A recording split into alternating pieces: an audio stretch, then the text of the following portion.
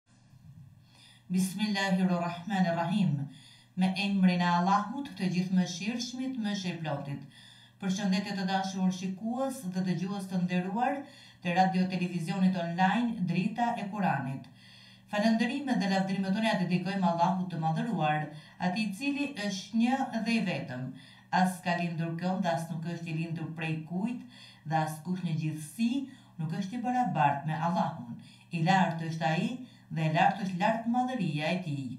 Paqja, bekimet dhe mëshira e Allahut qoftë mbi mëshirën e botëve, mbi Profetin Muhammed, mbi familjen e tij të pastër, mbi shokët e tij të zgjedhur dhe mbi të gjithë pasuesit e rrugës së tij deri ditën e fundit. Shikues dhe dëgjues të nderuar ju përshëndes me përshëndetjen e bukur të Islamit, përshëndetjen e paqes, Es-Selamu Alejkum Wa Rahmetullahi Wa Berekatuhu, Paqja, begatia dhe mëshira e Allahut qoftë mbi ju. Do të flas sot rreth temës Mëshira e Allahut është baza për botën e ekzistencës. Mëshira e Allahut të Gjithëpushtetshëm është bazë për të gjithë botën e ekzistencës. Në lidhje me këtë, shohim se shumë ajete në Kuranin Kerim e vënë në pah mëshirën dhe mirësinë e madhe të Allahut të Madhëruar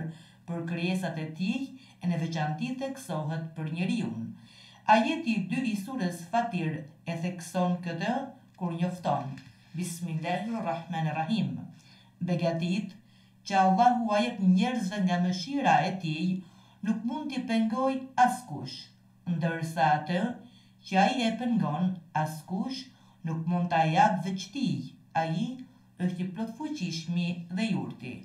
Me fjalë të përmbledhura, rezulton se të gjitha thesaret e mëshirës gjenden vetëm tek Allahu i Plotpushtetshëm dhe Ai u jep prej mëshirës së Tij atyre që e meritojnë.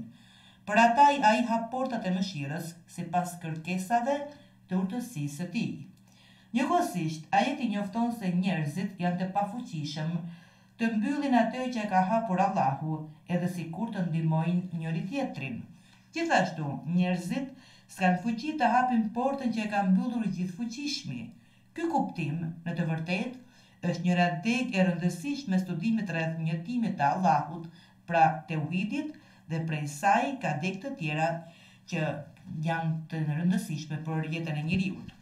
Një kuptim i ngjashëm është shprehur edhe në ajete të tjera të Kuranit Kerim dhe siç njofton Allahu i Madhëruar në ajetin njëqind e shtatë të Sures Junus, ku thotë, Nëse Allahu e vendos të të godasë ndonjë e keqe, askush nuk mund të ta largojë atë, përveç Tij, e nëse Ai do të të bëjë ndonjë të mirë, s'ka askush që ta pengojë mirësinë e tij. Ai ia jep mirësitë e tij kujt të dojë prej robëve të tij. Ai është falës dhe mëshirëplotë. Do ta zgjerojmë më tej trajtimin e temës sonë duke sjellë disa hulumtime rreth kuptimit të disa fjalëve të veçanta për të për të kuptuar pra se sa më mirë begatitë dhe mëshirën e madhe të Zotit xheleshanuhu që dhuron për krijesat e tij e sidomos për njeriun. Do ta nisim me studimin e parë po me hulumtimin e parë rreth fjalës së ajetit Yeftehu në rrënjën e saj që do të thotë feteha dhe ka kuptimin hapi, tregon për ekzistencën e depove të mëshirës hyjnore që përmenden edhe në ajetet e tjera të Kuranit famëlartë. Në ajetin objekt studimi, tërheq vëmendjen fakti se, sapo të hapën këto depo, prej tyre, mbi të gjitha krizat zbret mëshira, pa pasur ndonjë nevojë për ndonjë send tjetër, veç kësaj askush nuk mund ta ndalojë zbritjen e kësaj mëshire. Fakti që në këtë ajet zbritja e mëshirës ka ardhur para ndalimit të mëshirës është argument që vërteton se mëshira e Allahut të Gjithëfuqishëm gjithmonë e parakalon zemërimin e Tij. Dy, Fjala e ajetit rahmetun që do të thotë mëshirë ka kuptim të gjerë dhe përfshin të gjitha dhuntitë hyjnore në botën e gjithësisë, Dhunti materiale e jo materiale.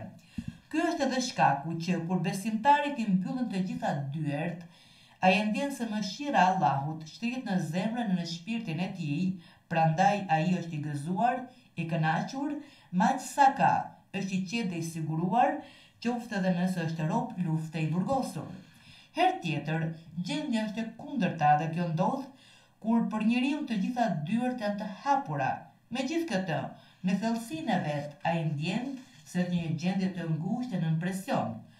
Botën me tërë gjerësinë e saj ai e mendon si një burg të errët e shumë të egër. E gjitha kjo vjen në thellësinë e tij nuk është hapur porta e mëshirës hyjnore. Kjo është një punë që ndihet pra ndihet konkretisht te të gjithë njerëzit. Pika tre, Përmendja e dy cilësive të larta të Allahut si El Azizu i Gjithëfuqishmi dhe El Hakimu i Urti ka ardhur për të shpjeguar më qartë fuqinë e Allahut të Lartësuar për të lëshuar dhe për të ndalur mëshirën në çast. Gjithashtu, janë një shenjë që tregon se lëshimi dhe ndalimi i mëshirës ndodh në çdo kohë që do i Larti. Por lëshimi e ndalimi bëhet mbi bazën e urtësisë së Tij, sepse Fuqia e filluesit të të gjitha sendeve dhe urtësia e tij janë të pandara. Në të gjitha gjendjet, ky ajet, pra ajeti i dy i sures Fatir, i jep njeriut besimtar qetësi e rehati, e bën besimtarin që t'u rezistojë të gjitha ndodhive dhe të mos ketë frikë prej problemeve e gjithashtu e largon besimtarin prej mendjemadhësisë, atëherë kur ai ka sukses dhe arrin fitore. Kurse në ajetin tre të Sures Fatir, shohim se si Allahu i Madhëruar i bën ftesë njeriut që të reflektojë dhe të kujtojë se begatitë dhe mirësitë që ai i ka në zotërim i ka vetëm nga Furnizuesi, Bujari, Mirësidhënësi, Begatuesi, që është një dhe i vetëm Zoti Madhështor. Në ajet thuhet, O njerëz! Kujtoni dhuntinë e Allahut për ju. A ka ndonjë krijues veç Allahut, i Cili ju furnizon nga qielli dhe toka? S'ka zot tjetër të vërtetë përveç Tij. Atëherë, si po largoheni ju? Ajeti e vë theksin mbi atë që në terminologjinë islame quhet adhurim kushtuar vetëm Allahut, adhurim i ngritur mbi themelin se, Vetëm Allahu ka fuqi të krijojë e të furnizojë. Ajeti i nderuar fillon me thirrjen, O njerëz, kujtoni dhuntinë e Allahut për ju.